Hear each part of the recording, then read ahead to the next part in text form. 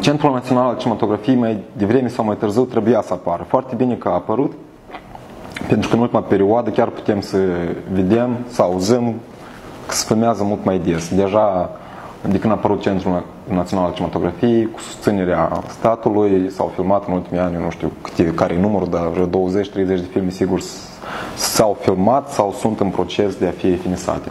Și ei și bucură foarte mult Uh, ultima perioadă mai rar auzeai când se filmează sau doar dacă era un proiect internațional sau cineva din țară să apuca cumva din propriul entuziasm să mai creeze câte un film. Nu pot spun că cinematografia noastră națională este la un nivel satisfăcător, dar sunt primii pași.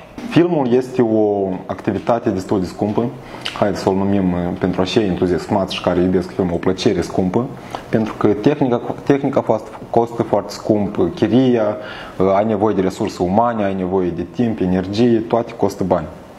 Uh, nu poți să faci un film cu buget zero. Cum n-ai da, este nevoie de niște cheltuieli.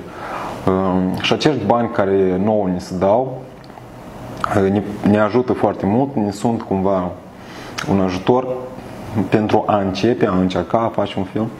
Ce aș putea să spun eu tinerilor, uh, tinerilor cineaști, um, Sincer, uh, de când a apărut CNC-ul, chiar uh, îmi doream un proiect al meu să, să aplic, să filmez un film personal, dar nu știu, ori că nu aveam curajul sau nu credeam că e momentul potrivit, că nu sunt nici eu atât de bătrân, sunt destul de tânăr. Um, dar așa, mai ca dintr-o întâmplare, când mi s-a propus, da, Mariana Starciu, care vorbesc de filmul recent care l-am filmat, care este autoarea scenariului uh, filmul Din inima Moldovei, uh, am acceptat să fiu regizor și da, noi pe bune am câștigat acest proiect și acum în noiembrie am filmat. Deci este posibil.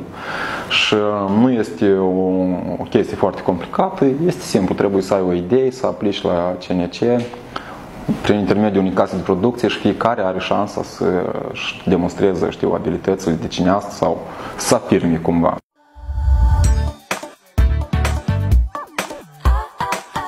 Acest, acest proiect, care pentru mine este cumva un debut, pen, uh, pentru că până la momentul de față eu am uh, filmat filme doar independente cu resursele proprii.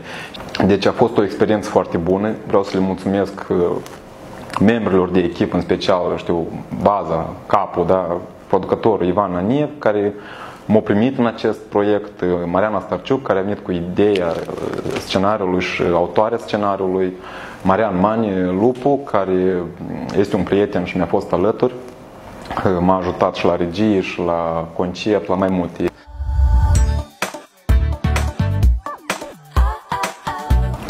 Hai să facem film hai să facem filme, hai să nu ne limităm, hai să gândim mai larg și să nu ne blocăm uh, pe loc drept uh, jeluindu-ne, da? Sau cum este altceva? Jeluindu-ne că nu avem bani, că nu avem tehnică, că nu joacă bine actorii sau avem, avem de toate. Avem uh, suficiente ca să demonstrăm că putem, dacă putem. Mesajul meu e hai să demonstrăm că putem și să ridicăm cinematografie la alt nivel.